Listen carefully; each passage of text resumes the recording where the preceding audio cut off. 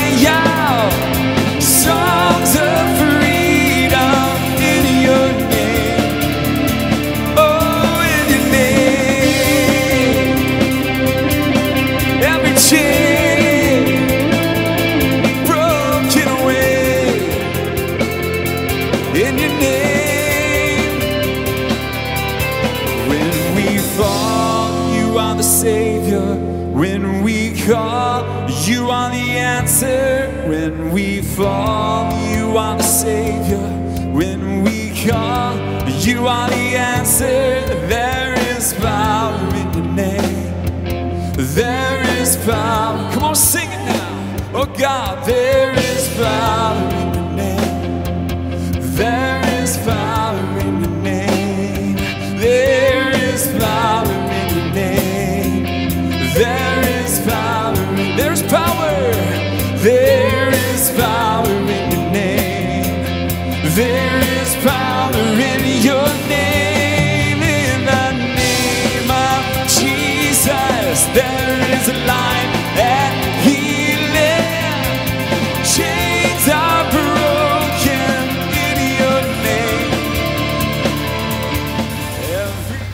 I will kneel in the dust at the foot of the cross where mercy paid for me.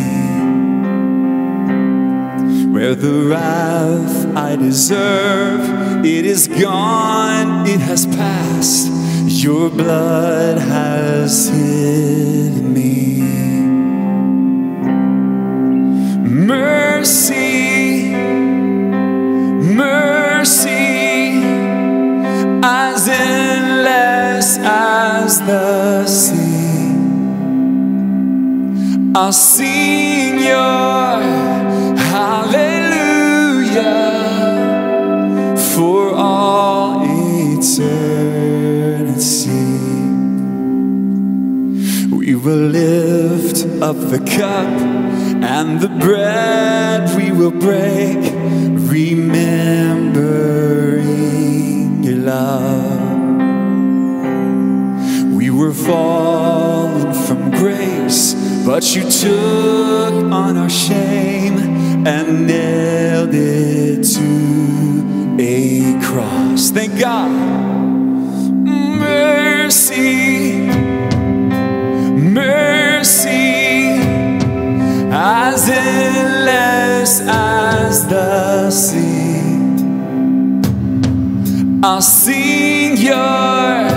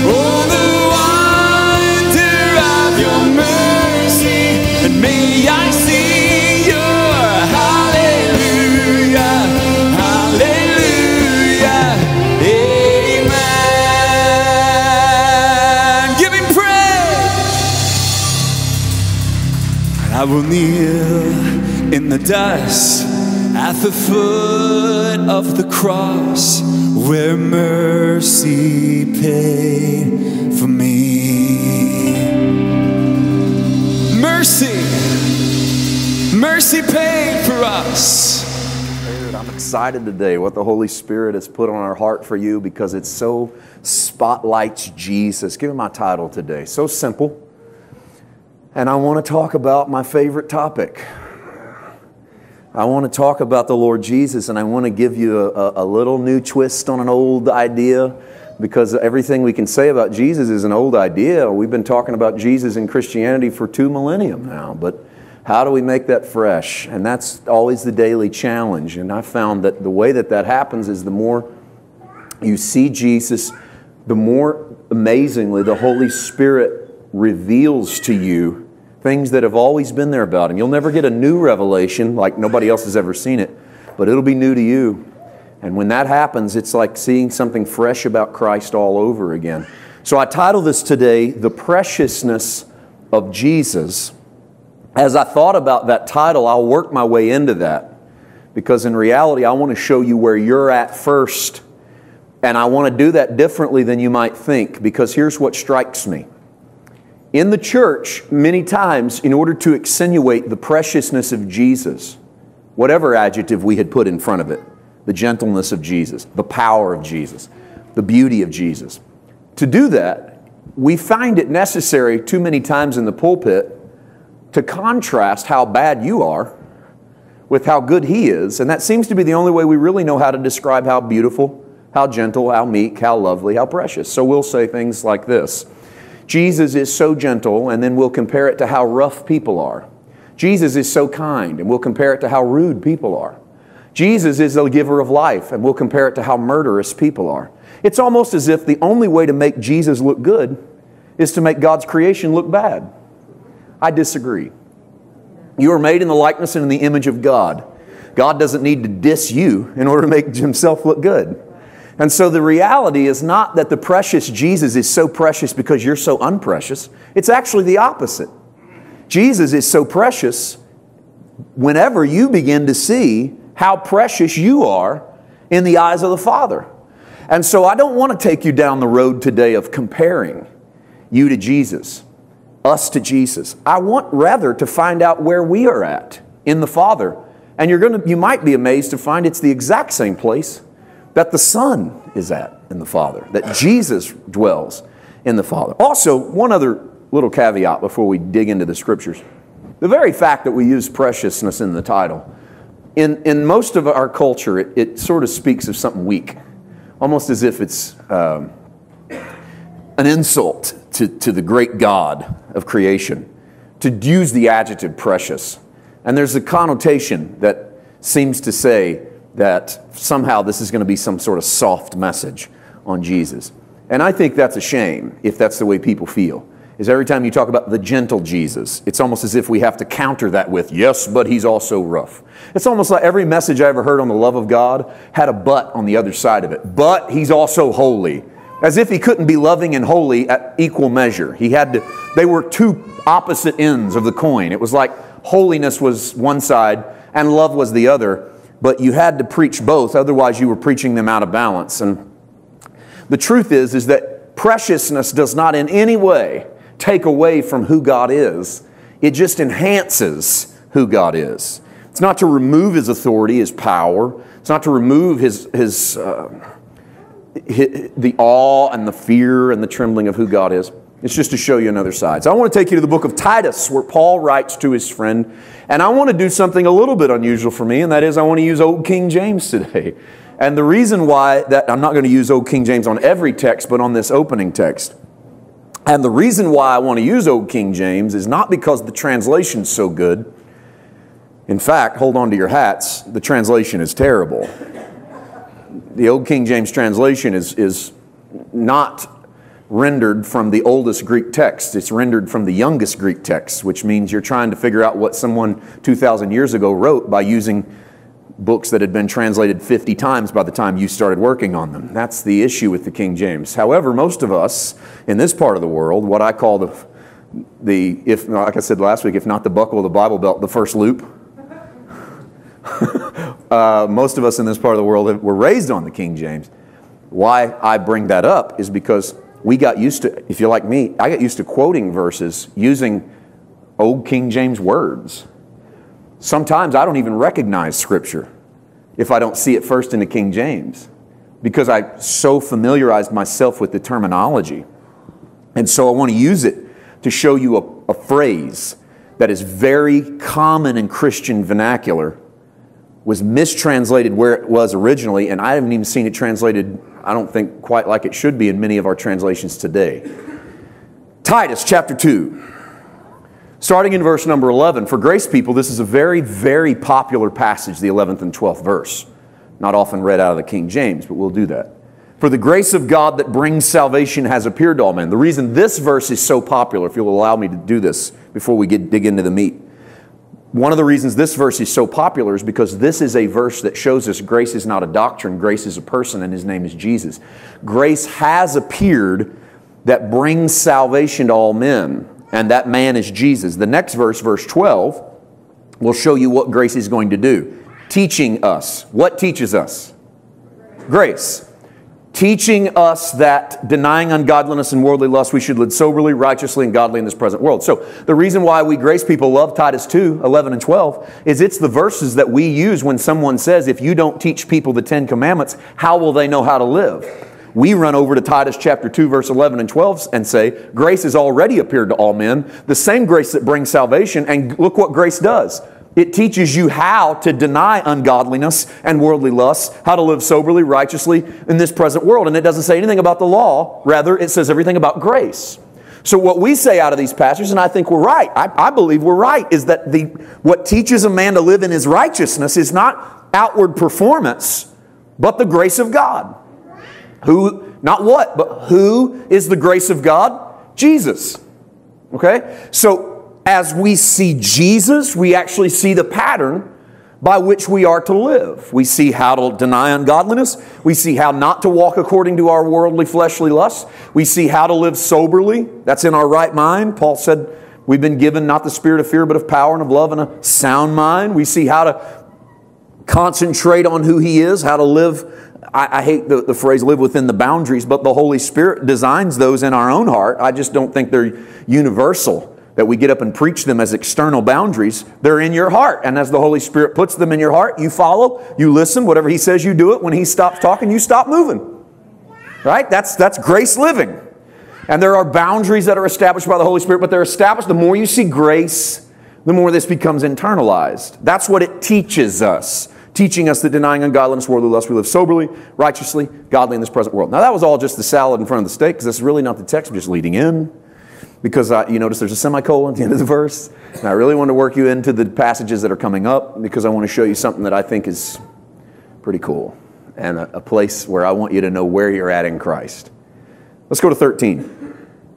Looking for that blessed hope and the glorious appearing of the great God and our Savior Jesus Christ. Great thing to do. The, to look for the blessed hope and the appearing of our Lord Jesus Christ. 14. Who gave himself for us, talking about Jesus. Notice the old King James doesn't capitalize. This is one of the things I do love about the new King James. The old King James doesn't capitalize those pronouns like himself, no capital H, though it's talking about Jesus. He gave himself for us that he might redeem us from all iniquity. Redeem is to buy back. He bought us back out of the slave market of iniquity. To buy us out of iniquity and purify to himself a peculiar people, zealous of good works. How many of you believe that Jesus has redeemed you from the slave market of sin? How many of you believe that Jesus has purified you unto himself? I was setting you up because if you believe you've been bought out of the slave market of sin, you have to have been purified. So you are pure today. And everybody said. Don't believe the lie that you're impure, that you've got to go be pure, you got to go get pure, you got to go do things to be considered pure. If you've been purchased from the slave market of sin, He didn't lay down on the other half of the job, buy you out of sin, forget to clean you up. And He also didn't buy you out of sin, then leave it up to you to clean you up.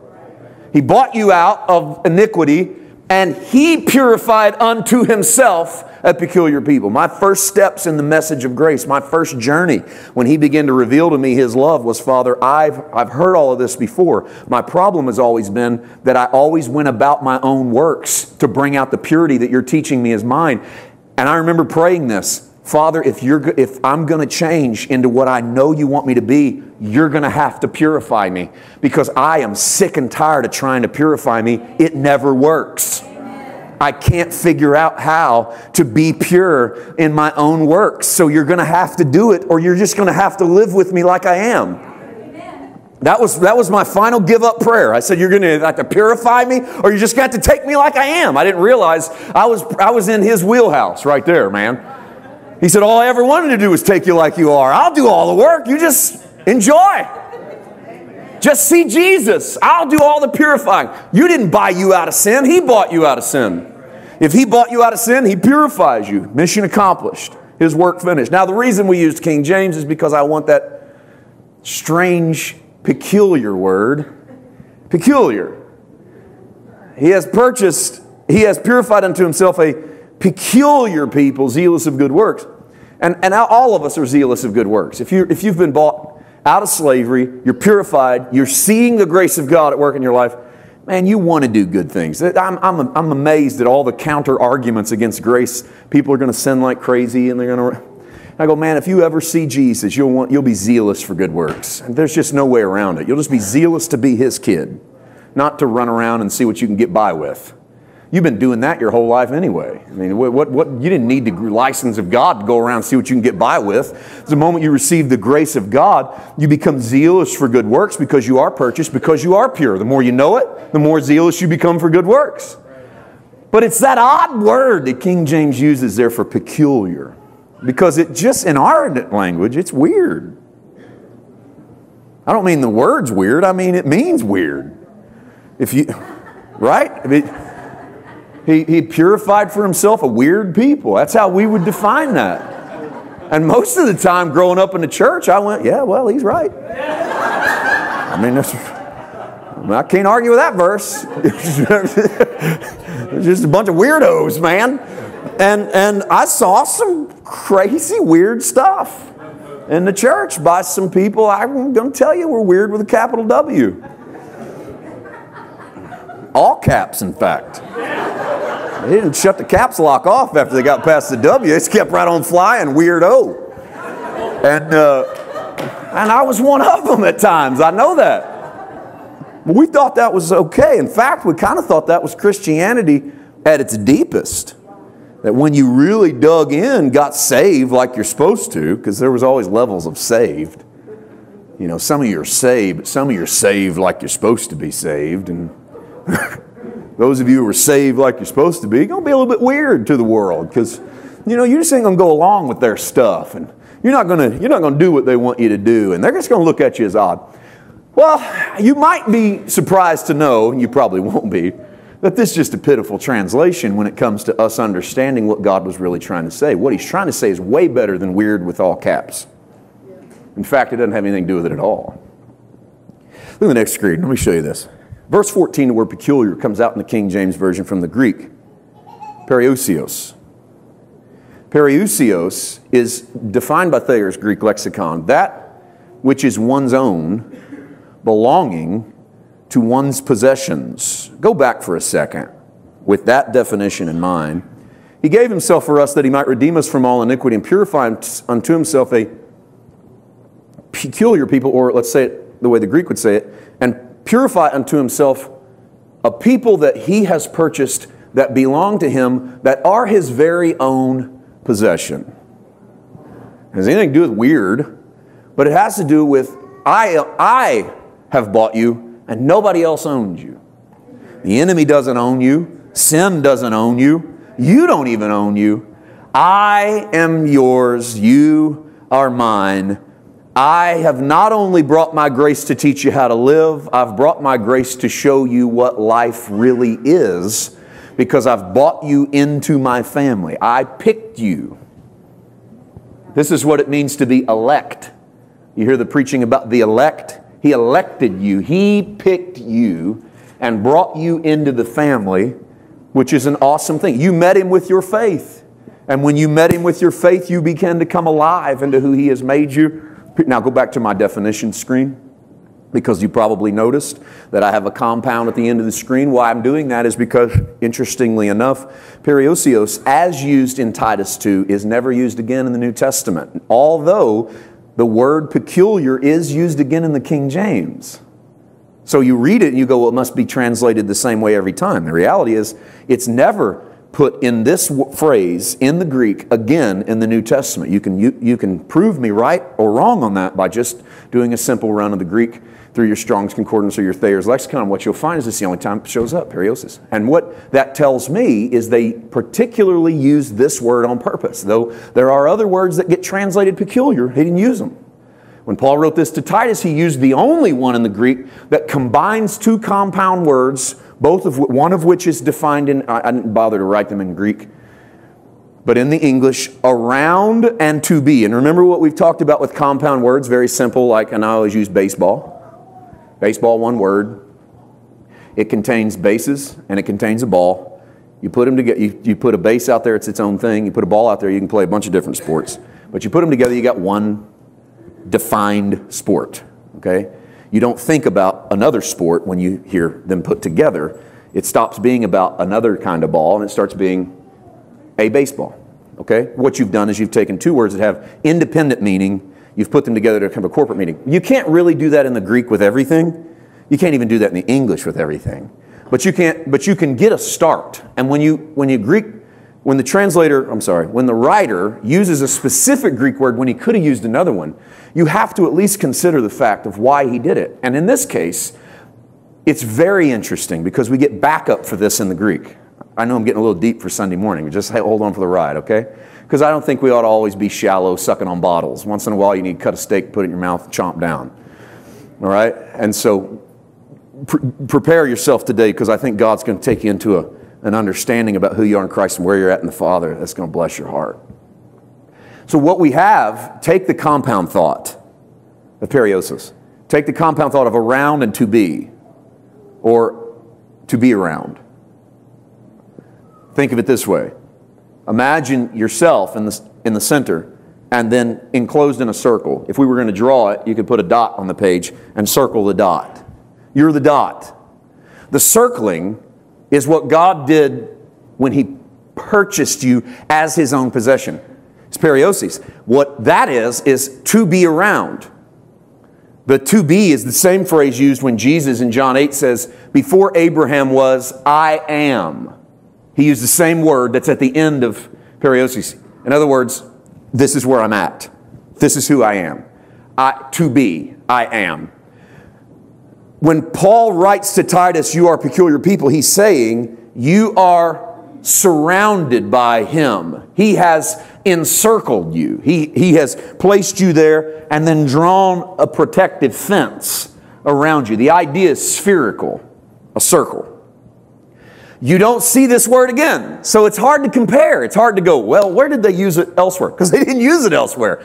But they used the heart of it, they used the theme of it. And wouldn't you know, it's That uses the theme of it again. When Paul says this in the next verse 1 Thessalonians 1 1, and when you look at it, you, you don't see it. You just don't catch it in the English. You got to have the heartbeat of it in the Greek. Listen to the verse. You're not going to find anything peculiar. That was a little pun there, peculiar. It's not a good one if you have to put your hand up and go, that was a little pun there. It's not, not effective. 1 Thessalonians 1 1. Paul, Silvanus, and Timothy to the church of Thessalonians in God the Father and the Lord Jesus Christ. Grace to you and peace from God our Father and the Lord Jesus Christ. I love the verse because I love the greeting. I love the grace to you and peace, uh, grace and peace. But that's not, that have anything to do with what we're looking for. What we are seeing here, we don't see it in the English, because in the English, you just got a bunch of words and a few prepositional phrases, a lot of in, in, God, in, in God, in Christ. But where we, where we miss it, where, we, where it's that and we don't see it. Paul, Silvanus, and Timothy, to the church of the Thessalonians in God. The Greek phrasing, setup, is a sphere on the phrase in God. That God is spherical What I mean by that, that God is circular. And when the author uses the Greek syntax and puts you in God, see it? In God. Paul, Silvanus, and Timothy to the church of the Thessalonians, in God. In the Greek structure, he is saying you're in the circle of God. Where did he come up with that? Well, he's already he used it in Titus when he said, You are surrounded by, you are a peculiar people, you are in God's spherical. In other words, God surrounds you through the Lord Jesus Christ. And then he says, Grace to you. So, what Paul believed for God's people is what I believe for you. You are peculiar, not weird. You are around, he is surrounding you because he has purchased you. You're his purchased possession that he put inside of the circle. Now, we use this phrase in business or in relation, and we say, This guy is in the inner circle. What does it mean if you go to work tomorrow and they say, Well, that guy right there is in the inner circle? You don't assume anything about circles on the floor we know it's a metaphor, but what does it really mean? Well, it could mean that you're in the middle of the target. It might not be a great place to be, but I think it stretches back. I don't know if the true etymology is here, but I think it could stretch back to the Greek syntax of the language. That when you were in the circle, you were inside of a place you were placed. You were, you were spotted and then surrounded, not for a bad reason, but for protective reasons, so that you would know the heart of the one who surrounded you. So if you go to work tomorrow and they go, this guy's in the inner circle, you automatically, you don't assume it has anything to do with circles or targets. You think it means this guy is, is close to the boss, has an inside track, knows what's going on. Uh, share a heartbeat. What was something else? Favored. It's favored. Yeah. Yeah. By whom? By whoever drew the circle. Right? I mean, whoever drew the circle favors this guy. That's why they put him in the inner circle. And you go, well, I'm not in the inner. We'll say this, well, I'm not in the inner circle. What do you mean by that? Well, you mean, hopefully you don't mean I'm not favored because your favor comes through Christ, not through your boss, by the way. But you go, well, I'm not in the inner circle. What you mean by that is I don't, they don't consult me before they make these decisions. I'm not in the inner circle. I'm not inside. So what Paul's really done is place the believer in the inner circle of God's decision making process, God's protective process, God's love process, which means you are in a position where you can know the heartbeat of God. One simple little intro to the Thessalonians. Yeah, that's, that's how deep and complex the Greek language is. Paul's reader would have seen it. We see in God. We just move on. Paul's reader would have seen we're in a circle. What am I doing in this circle? You've been brought in. God says you don't live on the outside anymore. You live on the inside. And then in Titus, he calls it periousios, or we call it peculiar. And a lot of times we got so messed up because it was just weirdo. You're not weird. You might be weird. That's just between you and, you know. But in God's eyes, maybe you are weird. Jeff, he's weird. Jennifer said amen too. She was pointing. That's the only reason I asked. This one's weird. That's just in the natural realm. You might be weird. Listen, and also in the spirit realm, in the spirit realm, it has nothing to do with being odd. The stranger you are to sinners, the closer you are to God, that's silly. That's, that's, that's demonic. That's the enemy trying to get you to identify your position in Christ by how popular you are. I'm not very popular. I must be close to God. People don't want to hang out with me. It must be because I'm, I'm growing in holiness. That's silly. That's the kind of garbage the enemy's been pumping into Christians for so long, and we buy it because we believe that we're supposed to be these outliers and we're supposed to be on the. And the reality is, is that you are in the inner circle of God wherever Jesus is, you should be finding yourself somewhere inside of that circle. And, and Jesus took shots in his walk on earth because he ate with sinners and publicans and, and prostitutes. And Why did he take shots? Because they didn't realize that what he was doing was pulling into the inner circle those who would simply believe, not those who lived right. I said this to you a few weeks ago. I'm going to keep repeating this.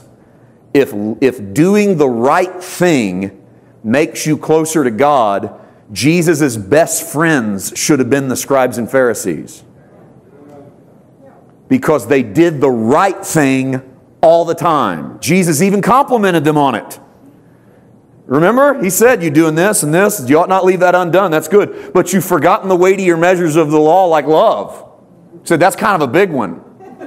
And that's what Jesus said to the Pharisees. He goes, you, you guys are good at tithing and going to the temple, but you forgot to love people, sort of a big deal. And you, you got to get back to that. And that's what I'm trying to do. That's what Jesus said. That's what I'm trying to do is not ignore the other stuff, but accentuate what Paul would come along and say is a more excellent way charity, love.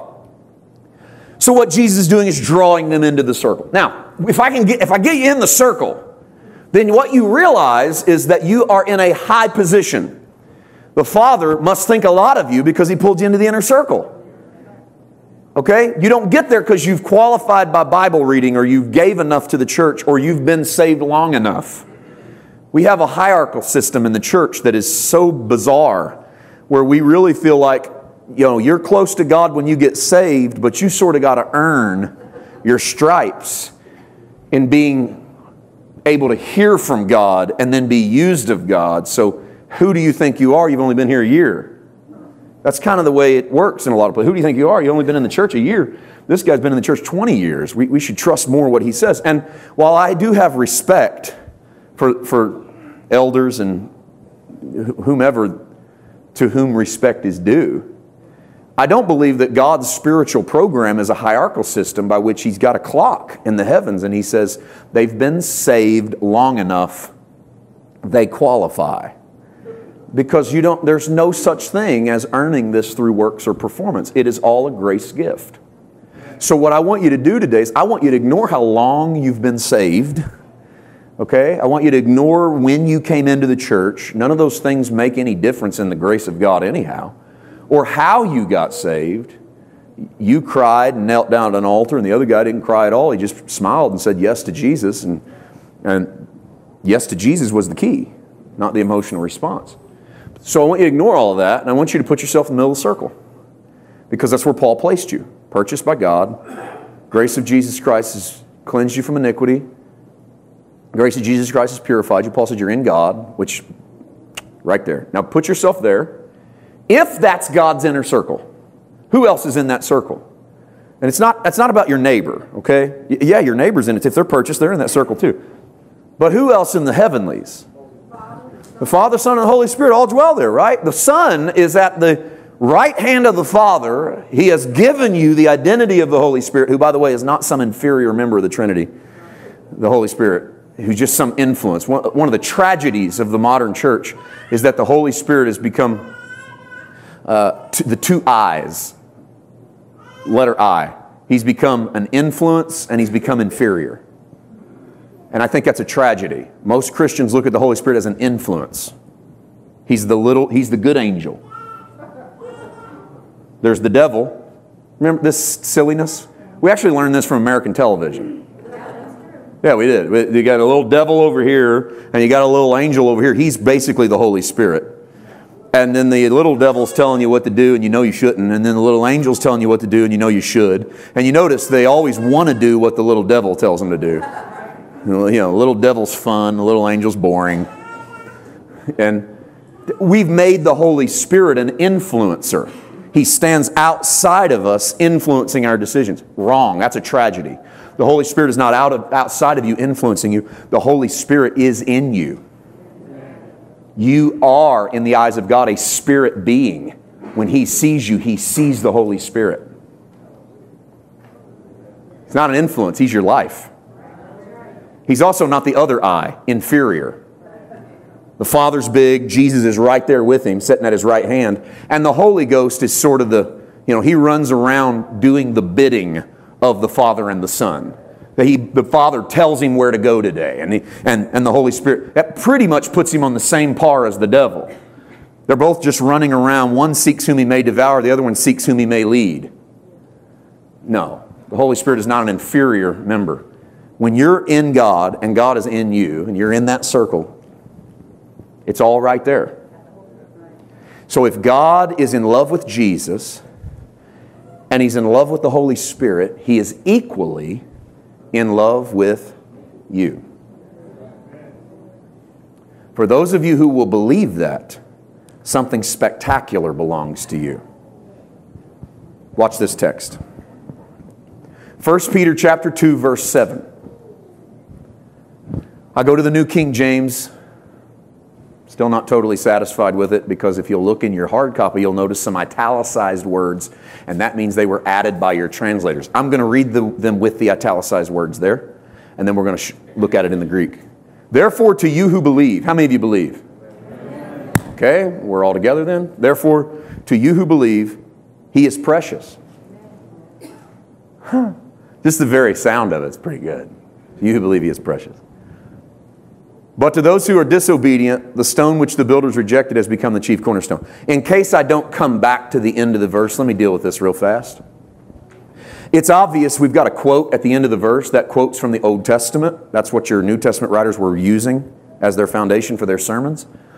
They use an Old Testament scripture, the stone which the builders rejected has become the chief cornerstone. They're talking about Jesus was rejected by his own people.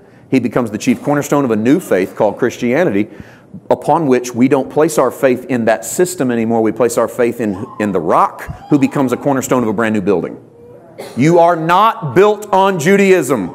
This is a lie that the church has bought hook, line, and sinker, is that you are built on Judaism. You are not. You are built on the rock, and his name is Jesus. And they go, well, yeah, but Jesus was a Jew. Jesus lived in the Middle East as well. Jesus, uh, Jesus probably had a beard. Uh, Jesus wore sandals. No, you're not built on any of those things. You're not built on, you're, you're built on he who was rejected. Why was he rejected? He was replacing everything they had. If you take him, you don't need a priest. If you take him, you don't need a temple. If you take him, you don't need to kill a lamb. If you, are you catching my drift? You know why he was rejected? Because if you take him, they're out of a job. You're not built on Judaism, you're built on Christ.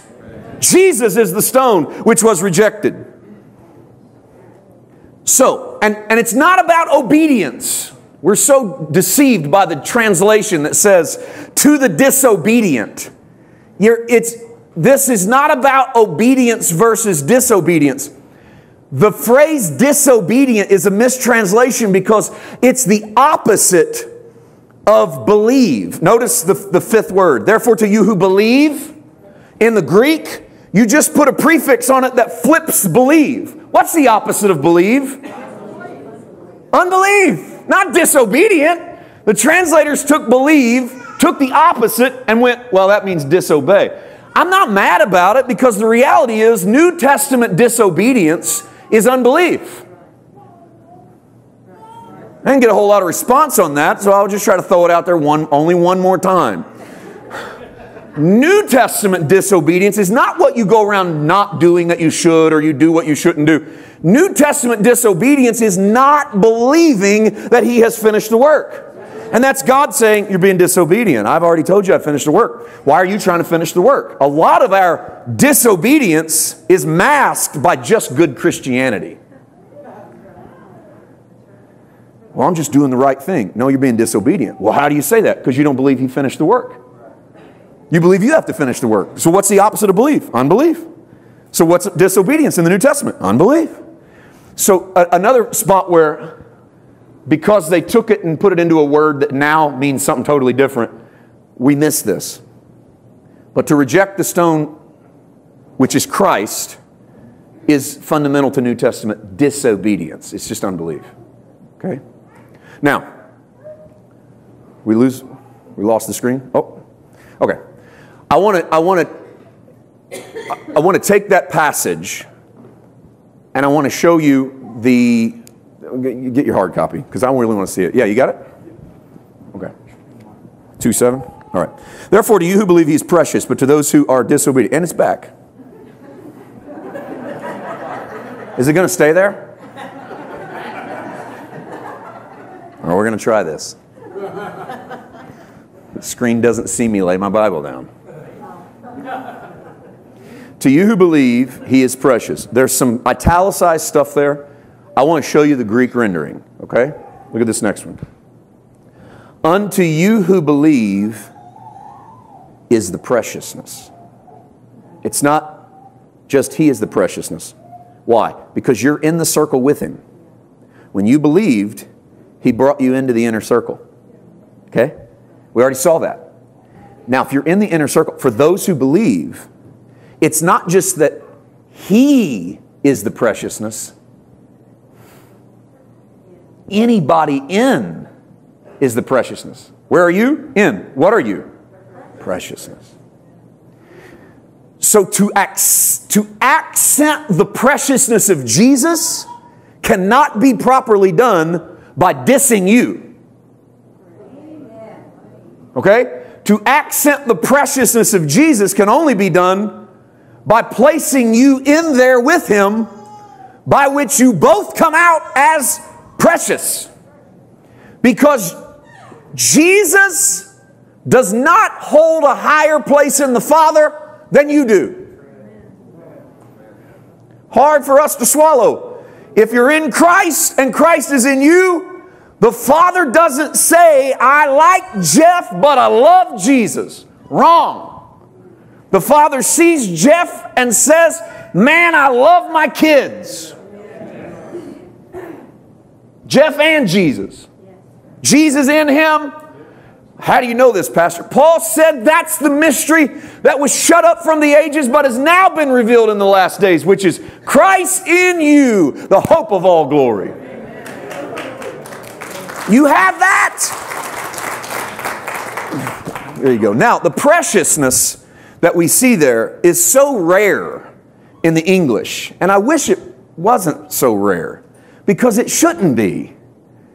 Almost every time in the New Testament you see the word honor, it's the same Greek word that they used here for preciousness. So I kind of wish just every now and then throughout the New Testament they'd swapped it up a little bit. Because we look at honor as respect, but that's not the Greek.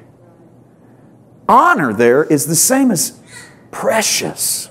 And what do you think of when you think of precious? You don't think of respect.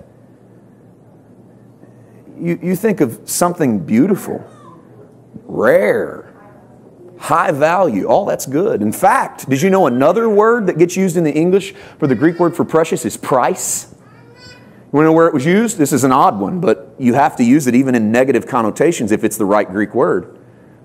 And the price they set on his head was 30 pieces of silver. The Greek word for price, preciousness. Precious. What? That seems negative. Well, the, the fact that it's the value that they set, it may be a low value to us, but they use the phrase, the value that they set on his head. So precious is value. If, if Christ is your preciousness, Christ is your value. You see that? If you are precious with Jesus, you are valuable to the Father. Did you know that the man that went out into the field and found the pearl of great price and went and sold everything he had to buy the pearl? That is not you finding Jesus in a field and selling everything you have to serve Jesus. That is the Father finding you in a field and selling everything he has to buy you. Do you know that? A lot of people preach that backwards and say, I'm going to introduce you to the pearl of great price today. Come up here and give him everything you have so you can buy him. That's opposite to the new covenant. He gave everything he had to buy you because when he saw you laying there, he went, Wow, that is worth everything I got. I'm going to give everything I got away so I can own that. And when I get him, I'm not going to leave him as an outlier. I'm going to put him in the center. He's going to be an inner circle. And if he'll ever wake up to that reality, he'll realize how precious he is. How beautiful. Isn't that good? Let's take just one of those honors. We could take a bunch of them. Let's just take one of them and let's just replace it with precious, okay? Look at this. Hebrews chapter 2, verse 9. But we see Jesus. Who do we see? Put him in the middle, okay? We see Jesus, who was made a little lower than the angels for the suffering of death, crowned with glory and honor. The word right there for honor is the same word in Peter for precious. Crowned with glory and preciousness. I just like the way it sounds. It means a little more to me even than honor. Because in some ways, we honor for in us in America, the highest honor is to die for your country. Okay? Praise God. Thank God for those who have paid what we call the ultimate price. Right? I'm not trying to be political, but I just say thank God because we live in a country where people paid the ultimate price. That's high honor. We give the highest of honor in our nation to that. That's foreign to the Greek. It doesn't mean we're wrong, just, that's our definition. Honor here is preciousness, it's so valuable.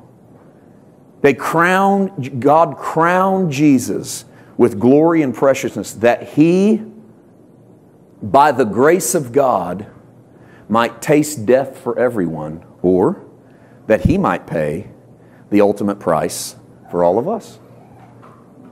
Somebody has already died for you. God's not asking you to die for him. He's asking you to live. Jesus said, I have come that they might have, not I have come that they might die, and die sacrificially. In fact, when Paul wanted to call you a sacrifice, he said, You are a living sacrifice. You are someone who gives themselves sacrificially while they're alive, who does not feel like their greatest gift they can give God is to die for Him, but to live for Him. It's a living sacrifice. Let me give you one more, and I just want to, I want to bring this one into your home practically as we head you to your vehicles. Okay? Look at this one. 1 Peter 3 7, this is one chapter away from our precious verse. Husbands, likewise dwell with your wives with understanding, giving honor to the wife as to the weaker vessel and as being heirs together of the grace of life that your prayers may not be hindered. We take 1 Peter 3 7 and we get all up in the air about it in a culture like ours in America because we, we see the phrase as the weaker vessel and some people get all upset. But please put it in the context of where it was written. And it's not written as a social commentary, it was written as a spiritual reality comparing God's people to Adam and Eve. And so, did you know the whole marriage issue in the New Testament is not God telling you how your marriage is, it's God telling you how your marriage is with Him. It's not your marriage with each other, although your marriage with each other should be a reflection of your marriage with Him. The closer your earthly marriage reflects your heavenly marriage, the happier your earthly marriage will be. The further it is from your heavenly marriage, the more it'll be like the world. And how's that working out? Okay? And so there's a distinct difference. The authors didn't write to teach you how to make your marriage better. They wrote to teach you about your heavenly marriage, and knowing that would improve your marriage. So you are the weaker vessel in the marriage with God because you're always the female in the marriage. He's the husband, we're the bride, right? If we're the bride, we're the female in the marriage. That's not meant to be a gender thing. It's just meant to state a spirit fact about our wedding. We together. Walking through this slowly. I want to get this right. I want to make sure we all get it. We're the, we're, we're the, we're, we are in the marriage the weaker vessel. Well, we don't have a problem with that. We have a problem with it when it comes to societal, but we don't have a problem when it gets spiritual. So take it spiritual. That's what it was written to be. So as the weaker vessel, it's not saying women are weak, but as the weaker vessel in the marriage based upon the Adam and Eve relationship, which is really a reflection of the father and the bride relationship, the husband and the bride relationship, give honor as a weaker vessel, being heirs together the grace of life. Honor, same word, precious. How does the father look at you? Precious. Husbands likewise dwell with them with understanding, giving honor to the wife. So take it into the relationship. Take it into, because he did talk to real people here, husbands. Take it into real marriages. Husbands, if you would view your wife as precious, you would be heirs together of the grace of life. I think it's one of the more underpreached verses in the grace mo- uh, community. I hate movement. The grace community, we're not talking a lot about the grace of life, which is an accessible grace in the marriage covenant, where two people are not in a social contract anymore. They are living life in and through and with one another, discovering the beauty of life through the marriage covenant and actually tasting something about life that cannot be achieved on your own. See that? Now, I've got some married people sitting here nodding their head yes. They have seen this. They have seen that as they honor one another as the preciousness of God, they experience the grace of God in a way they never could have had on their own. Just no way they could have ever tasted that kind of grace living on their own. I've got other marriages who are looking at me with a blank slate. They're going, This is new ground, Pastor. I don't feel that in my heart. And so the, the issue then is how we honor one another, how we view one another as precious.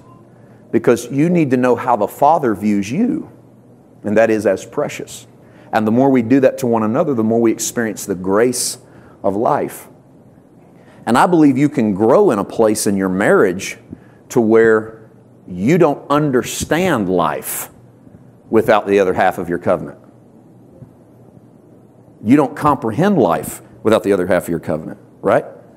To where you, you would have to relearn that. And so, and thank God we have a husband who loves us who teaches us the other half of that grace so that even if we're not married or we've lost a spouse or wherever we're at, He is to us, as He said, I will be, a husband spiritually, and begins to, to do that in our lives. Now, I did all this because I wanted you to see the preciousness that you have, but I titled it The Preciousness of Jesus. Why didn't we title it The Preciousness of You? Well, because the moment that you really realize the preciousness of Jesus, by default,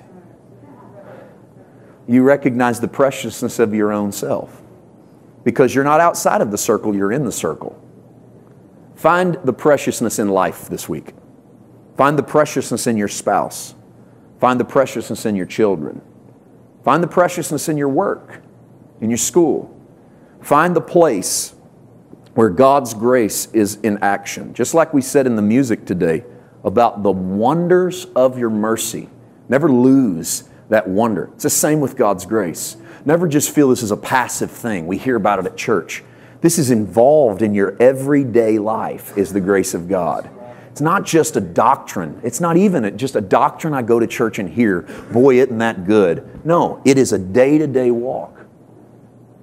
What am I equipping you to do? I'm equipping you to have this on your own all the time. You have the knowledge that you're the preciousness. And I thank God for it. Aren't you glad for that knowledge? Now, we could just talk and talk and talk and have a good time, but I feel like the Holy Spirit is saying, let them go. You've sufficiently worn them out. They can only sit on that pew so long. So I'm going to honor the Holy Spirit and honor your time. And I want to pray for you. I want to pray the Holy Spirit use this word to dig down deep. Would you bow your heads with me for a moment? And I'm not one to play on your emotions, and I'm not one to try to get you to do something for me or get you to do something for God. I believe the Word is so powerful, all He's asking you to do is meet Him with faith. So I'm trusting that you have heard the Word today. The Word works. The Word works. If you've heard the Word, don't worry about you working. Oh man, I'm not going to remember all that. Don't panic. You don't have to remember all that. Some of you even need to quit taking so many notes. You're writing so much that you're not even hearing. Just let the word work. It'll soak down into your heart, it'll grab hold of the nutrients of your spirit, and it will grow. The word will do the work. Jesus said they cast the seed, inside of the seeds, the DNA of the kingdom.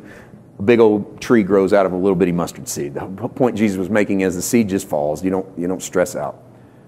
Father, the word is dropped into open hearts today. I believe, Father, you gave us this word so Jesus would look good and so that your children would look good, not so that we would see him and feel like dogs because he's so good and we're so bad. Father, that is killing us. And thank you that your word releases us from that silliness. Thank you that we're released from the condemnation, he's good, we're bad.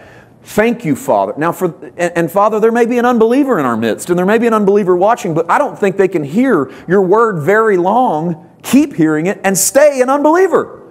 So, Father, I pray for anybody who's in this room or watching around the world that come to that comes to this moment as an unbeliever that father they stop being an unbeliever you can't make them but i believe the word's so powerful that they have to make a decision in their heart i don't believe that because i think it's so easy to believe I think it's harder for them to not believe. So, Father, for anybody waffling right now on that precipice, do I believe this? I just pray your Spirit shower them with love.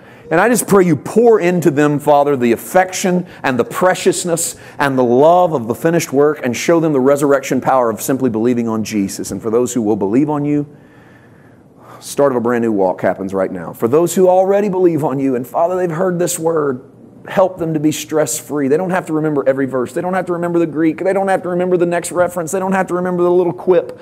Just let the word work.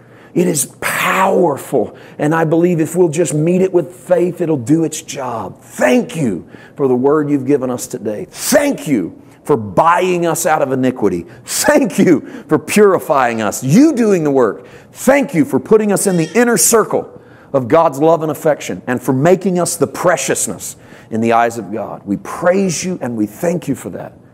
And we receive this word today as a fresh word for our souls. We receive it for a word for our marriages. We receive it as a word for our day to day lives. In Jesus' name. And if it's yours, say amen. For more information about Paul White Ministries and how you can become one of Paul's partners, visit us online at www.paulwhiteministries.org. Have a blessed day, and may God richly bless you.